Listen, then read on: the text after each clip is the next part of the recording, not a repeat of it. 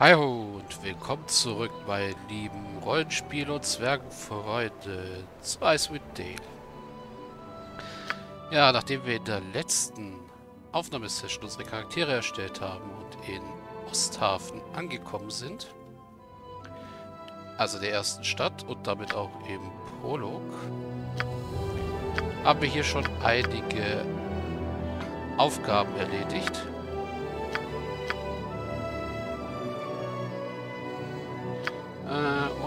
Einige Aufgaben offen. Sofort.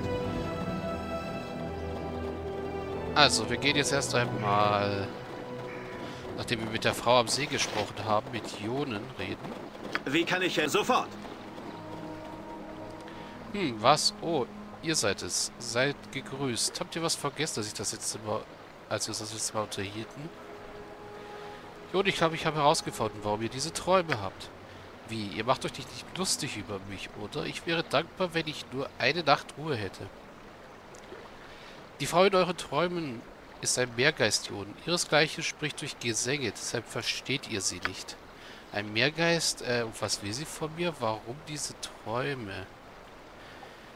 Sie ist einer der Geister des Sees, die Männer den Tod locken wollen, Ionen. Die Träume sind eine Art Köder, wenn man so will.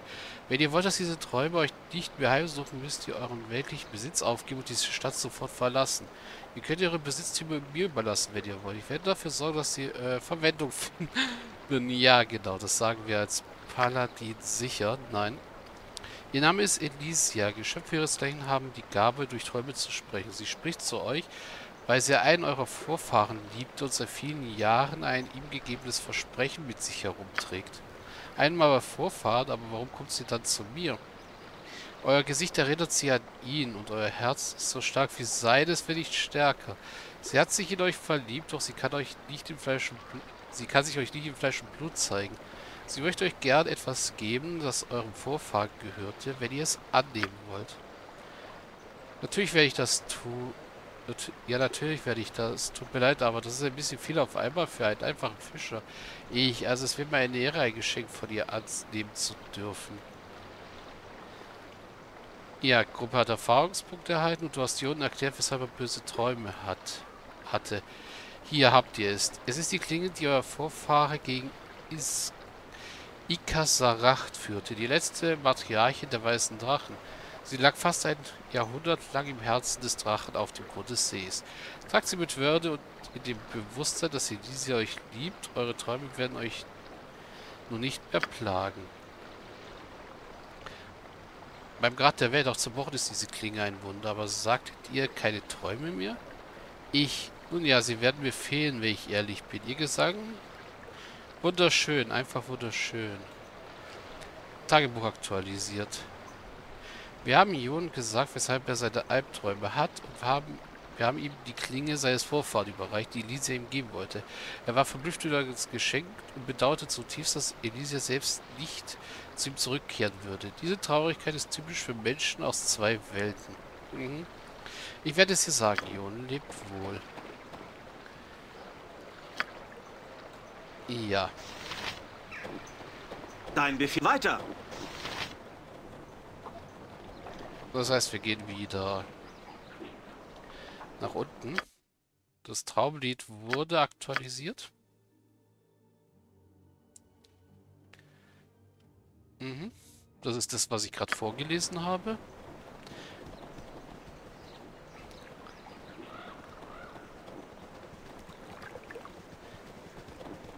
Das heißt, wir nehmen wieder Bereit das sind mit deiner Elastrat, Erlaubnis. da die eine Elfe ist. Und reden mit der Frau. Habt ihr Ionen gefunden? Ja, und ich habe ihm die Klinge gegeben. Mein Dank ist euch gewiss. Bitte nehmt dieses geformte Stück Sand, das sich auf dem Grund des Sees fand. Ich habe gehört, dass es für die, die auf dem Lande leben, solche Dinge von großem Wert sind. Ja. Ihr seid zurückgekehrt und habt Elysia gesagt, dass, Ionen die Klinge, dass ihr Ionen die Klinge überreicht habt. Und wir haben Erfahrungspunkte gewonnen. Die Gruppe hat einen Gegenstand gewonnen, Perle. Euer Tagebuch wurde aktualisiert. Wir sind zu Elysia zurückgekehrt und haben ihr gesagt, dass wir Jun die Klinge gebracht haben. Sie war sehr froh darüber und belohnt uns für unsere Mühe. Danke, Elysia. Lebt wohl. Und da löst sie sich auf. So, das ist jetzt erledigte Aufgaben. Wir sind zu Elisia zurückgekehrt und haben ihr gesagt, dass wir Jon die Klinge gebracht haben. Sie war sehr froh darüber und belohnt uns für unsere Mühe. Mhm. Gut. Das heißt, wir haben jetzt eine Perle, die wir auch noch zu Geld machen können. Ja. Vorwärts. Jetzt können wir mal den Tempel besuchen.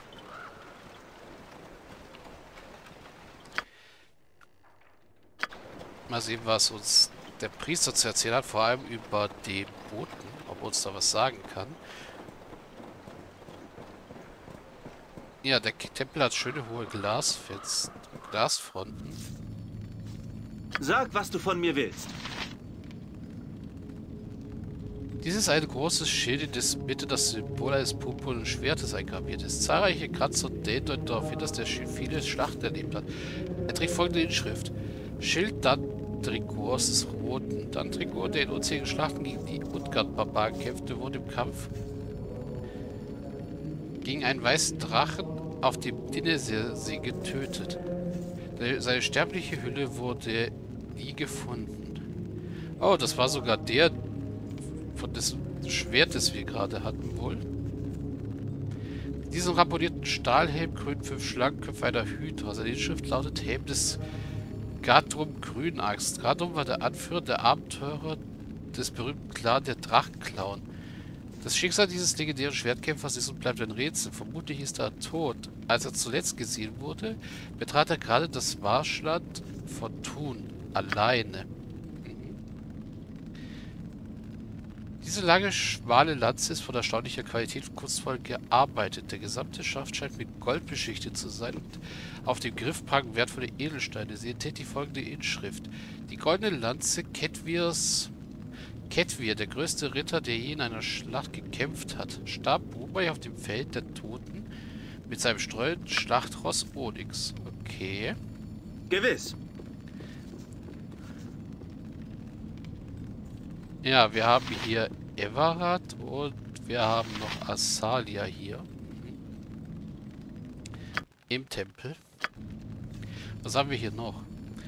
Dies ist ein Rundschild, aus, aus dem mehrere heimtückische Widerhaken herausstehen. In der Mitte des Schildes ist ein flammendes Schwert, das heilige Symbol von Tempus eingraviert. Darauf ist folgende Inschrift eingraviert. Schild von Berge vom Orden des Stahlfangs. Gefallen am 11. Tag der Schlacht bei der Brücke von Borskir. Die Klinge dieser Streitaxt steckt tief in ihrer Halterung. Hunderte kleine Kerben bedecken den schwarzen Eichengriff. Auf der Axt befindet sich folgende Inschrift. Axt des blutigen Aschrim. Der gnadenlose Kriegsfürst benutzte die Axt angeblich persönlich zur Hinrichtung seiner Gefangenen. Er selbst wurde eines Tages von seinen eigenen Männern brutal zerstückelt. Aha. Sehr schön. Dieser riesige Kriegshager sieht aus, als seien die vereinten Kräfte zweier Männer nötig, um ihn zu verwenden. Der dicke Stahlkopf ist mit genieteten Bronzebändern umwickelt und mit, Sp mit Spritzern bedeckt, die wie getrocknetes Blut aussehen. Seine Inschrift lautet Knochenbrecher. Diese prächtige Waffe gehörte einst dem legendären Krieger Dumok der Faust, der beim Sturm auf die Drachensch Drachenspeerburg fiel. Mhm. So, was könnt ihr beide für mich tun? Gucken wir mal. Seid, seid gegrüßt. Mein Name ist Alicia. Ashalia. Ich bin eine Eingeweihte im Tempel des Tempus. Ich helfe Everard, die Waffenkammer des Tempels in Stand zu erhalten und zelebriere Rituale. Seid gegrüßt, Ashalia. Ich bin Brenno hier. Ihr seid eine Eingeweihte des tempojanischen Glaubens, ja? Ich wusste nicht, dass der Herr der Schlachten hier oben so beliebt ist. Äh... Tempus wird von den barbarischen Stämmen hier oben sehr verehrt. Sie nennen ihn Tempus. Wir Einwanderer erleben hier viele Konflikte und Gewalt und die Leute versuchen, in all dem einen Sinn zu sehen. Barbarische Völker, was halten Sie von zehn Städte? Das ändert sich von Jahreszeit zu Jahreszeit, von Jahr zu Jahr, wie alle Dinge. Sie misstrauen uns Einwanderer und betrachten unsere Siedlung hier oft als Eindringen in ihr Land. Manchmal handeln sie mit uns, manchmal führen sie Krieg mit uns. Klingt nach einer Lass Hassliebe. Immerhin töten sie euch nicht die ganze Zeit. Paar, irgendeine zivilisierte Nation sollte hier heraufkommen und diese unverschämten Barbaren mal richtig vermöbeln. Was glauben die, wie, wie es Fortschritt geben kann, indem man ihnen der Tundra sitzt und auf eine dämliche Trommel einschlägt? Ja, das hat, wie wir im Vorspann ja gesehen haben, ein Magier versucht, also die Barbaren zu unterwerfen. Hat nur nicht ganz gut geklappt. Und das ist gut so. Die Leute behandeln dieses Land wie Abfall. Allein dieser Tempel ist schon eine Beleidigung der unberührten Schönheit des Grad der Welt. Ihr habt gesagt, wir Einwanderer. Woher kommt ihr? Es scheint gefährlich zu sein, hier zu leben. Ich muss jetzt weiter. Fragen wir mal, woher sie kommt. Ich stamme aus Niewinter. Ich kam hierher, um Kriegsherr Everard zu helfen, als der frühere Kriegspriester Renfeld in der Schlacht mit den Barbaren nahe Brünschander getötet wurde. Aber die Barbaren scheinen die Einwanderer ja nicht besonders zu mögen. Ja. Nehmen wir mal das mit der Hassliebe. Es ist einfach Teil eines Allta unseres Alltags. Wir wissen, dass die Barbaren nicht weit weg sind und wir Einwanderer kennen die Gefahr, die sie in unserem Leben bringen. Es scheint fast sinnlos, unter solchen unwirtlichen Bedingungen zu leben. Haben die Leute keine Angst? Es ist Teil einer einfachen Wahrheit, an die wir Temporaner glauben. Wir sind von Konflikt umgeben. Alle Menschen, ob Mann oder Frau, haben etwas, an das sie glauben und für dessen Verbreitung oder Erhalt sie ihr Leben riskieren würden. Tempus sagt uns, dass wir für etwas von Bedeutung leben sollen. Ob wir töten oder ob wir sterben, ist es gleich. Wir predigen, dass Konflikt und Krieg für die Existenz der Menschheit essentiell sind. Das denke ich auch, auch wenn es uns nicht gefällt, dass es passiert. Konflikte im Leben sind unvermeidlich. Das ist ja wohl ein Witz. Ich kann nicht glauben, dass Sie das ernst meinen. Krieg ist für unsere Existenz hier essentiell. Was ist mit, mit Dingen wie Liebe und Toleranz? Wie passt die Tempusplan? Eure Theorie ist absurd. Äh, darüber kann ich nach, kann man nachdenken. Ich muss jetzt gehen. Leb wohl. Mhm. Ja, reden wir doch mal mit dir. Hallo, da seid ihr ja wieder. Kann ich euch irgendwie helfen? Könnt ihr mir etwas über die barbarischen Stämme erzählen? Äh, nein, das will ich jetzt nicht. Könnt ihr mir etwas über die temporanischen Rituale erzählen? Wir feiern das Festmahl des Mondes zur Erinnerung an die Gefallenen. Außerdem singen wir den Gesang des Schwertes mindestens einmal in zehn Tagen. Weil die Kirche so nah am Schauplatz so vieler großer Schlachten liegt, gibt es in unserer Gemeinde auch lokale Feiern zur Erinnerung an die schlimmsten Konflikte, die im Eiswittal getobt haben. Die wichtigsten täglichen Zeremonien sind das Heldenmal am Mittag und der Gesang für die Gefallenen bei Sonnenuntergang. Ja, welche lokalen Schlachten feiert ihr? Was sind das Heldenmal und, das, und der Gesang der Gefallenen? Fragen wir mal nach den Schlachten. Wir feiern die Schlacht vor Jerotstein. Ich würde euch mehr darüber erzählen, aber Ebert wünscht, dass alle Fragen dazu an ihn gerichtet werden. Er, er sieht unsere Lehren aus einem etwas anderen Blickwinkel als die meisten anderen. Fragt ihn, wenn ihr ihn seht. Was für ein Mensch ist Everard? Everard, nun Everard hat sich immer noch nicht ganz an seine Stellung hier gewöhnt. Ich glaube, er würde Tempus noch immer lieber auf dem Schlachtfeld dienen, aber seine Aufgabe ist es, diese heilige Stätte zu bewachen. Die Stätte von Jerod Stein. Ihr solltet ihn danach fragen, er weiß mehr über die Geschichte als ich. Everard ist gleichzeitig Krieger und Priester. Wie passt das mit dem temporianischen Glauben zusammen? Äh, da sind wir wieder hier. Darüber denke ich nach. Also gehen wir nochmal zu den Ritualen. Was ist mit dem Heldenmal und dem Gesang? Das ist schnell erklärt. Das Heldenmal ist ein Mal, das wir Mittag einnehmen. Dabei erinnern wir uns an das letzte Mal, dass jeder Krieger zu sich nimmt, bevor er oder sie den tödlichen Kampf zieht. Der Gesang für die Gefallenen ist ein Trauergesang, den wir bei Sonnenuntergang singen, zur täglichen Erinnerung an die im Kampf Getöteten. Ja, welche lokalen Schlachten feiert ihr? Ja, da kann ich mich im Kreis drehen mit den zwei Fragen. Dann können wir jetzt noch nach dem... Ja, das ist der hohe Priester, das ist Elfrat. Ja, und dann kommen wir wieder hier hin. Okay, das war also alles. Was sie zu sagen hat, dann reden wir mal mit Ev Everard. Everard, nicht Everard. Hm. Rotgar meinte schon, es wären Fremde in der Stadt. Was genau wollt ihr? Und hey, er ist ein bisschen vertot. Ich bin Brenno, ihr seid ihr der Hohenpriester des Tempels? Ja, ich bin Everard. Everard von Tempus, Kriegspriestern des Herrn der Schlachten. Was führt euch hierher?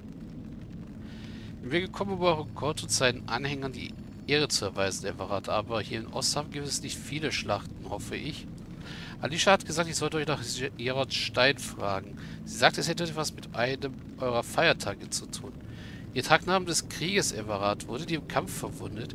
Wisst ihr etwas über die Expedition, die Hotgar vorbereitet? Ich habe gehört, dass ein Bote aus Kuldar zum Tempel gekommen ist. Was ist das für eine glyphenbedeckte Tür unter der Statue? Ich habe mich gefragt, ob wir wohl dem Tempel unsere Ehre erweisen können und auch etwas Heilung bekommen können. Ja, das ist dann der Standard-Tempeldienst wahrscheinlich. Gehen wir mal von oben nach unten. Nehmen wir die Eins. Krieg ist nur eine von Tempus vielen Seiten. Krieger. Wahre Krieger verehren ihn auch.